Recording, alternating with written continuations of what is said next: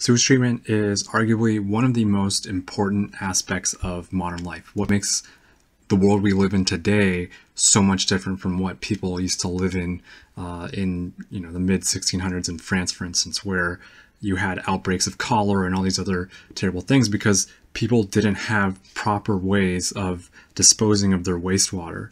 And so in this video, what I'd like to do is go over how chemical engineers are playing integral roles in how society today can actually process wastewater into environmentally friendly solutions. And so it's a pretty cool process.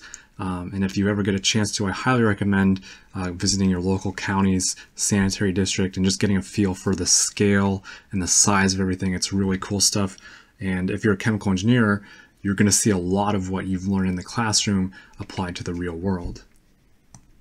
And so the first thing that uh, will happen to the sewer water uh, is that we will perform the primary uh, filtration.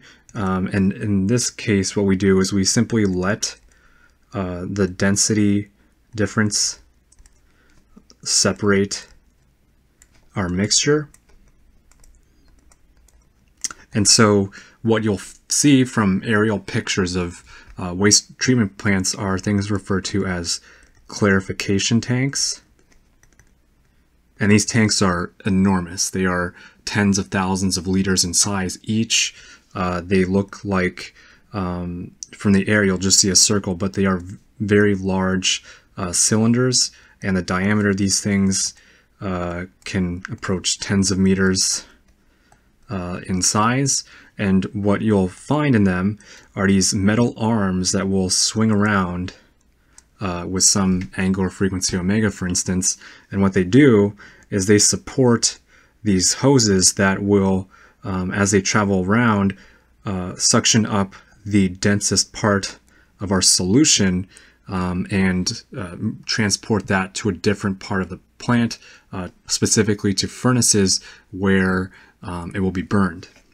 And so um, this is a very initial crude kind of filtration step that takes place. And on the outer perimeter of these clarification tanks, the water will be spilling over into these uh, channels.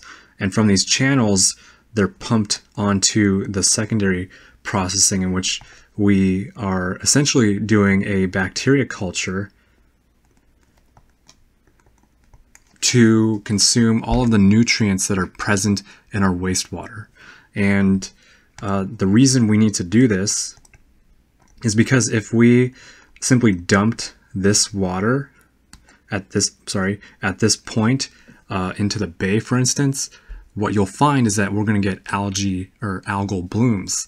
And algal blooms are very detrimental to uh, local marine ecosystems. And so we need to uh, prevent that from happening.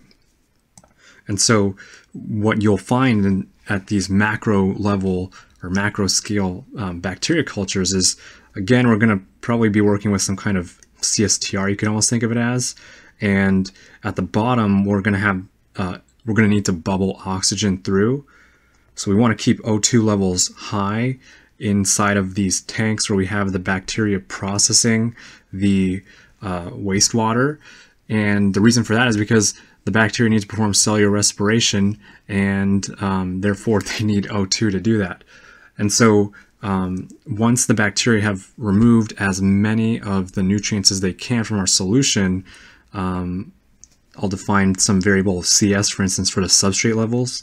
We're going to decrease the, levels of substrate um, so algae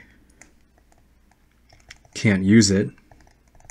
Um, in, in addition to this, um, there are some uh, sanitary districts that will try out different strains of bacteria to consume the nitrates and other nutrients that um, algae are known to uh, consume in order to proliferate in local uh, ecosystems. And so uh, that's a, a, big part of this too is you'll have technicians in labs um, periodically doing samples to make sure that your product is uh, will be environmentally friendly at the end of the day.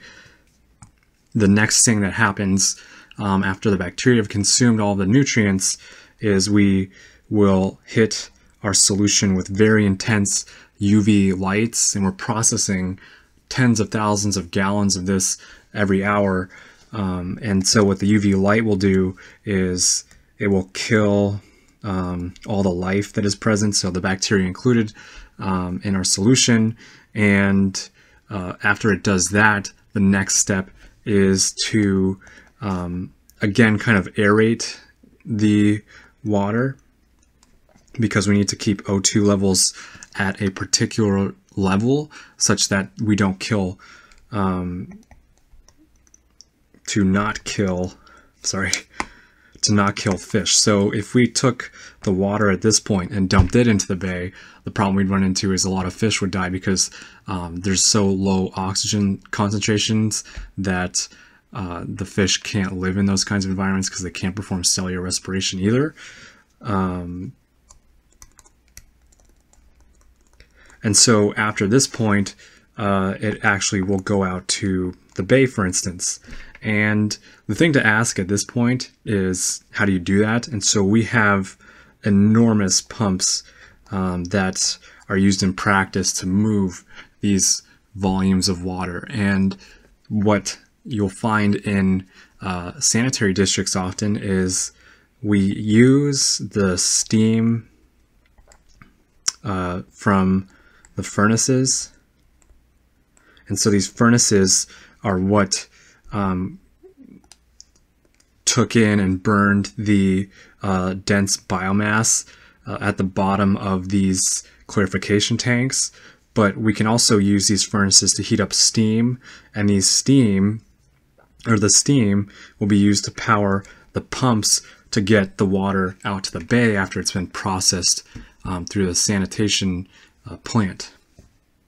And so if you remember uh, thermodynamics from uh, chemical engineering program, you'll appreciate the, the need for steam tables and how you determine the energy that's present and how much work we're going to be able to do with a particular steam temperature and a pressure uh, difference with these pumps to actually get uh, the, a, a, required volume of water out depending on um, the needs at a particular point in time. And so it is all very cool stuff that kind of ties together why chemical engineering is so important in everyday life that I really like to um, mention it. And I hope it can interest some people into looking into this if they're chemical engineers.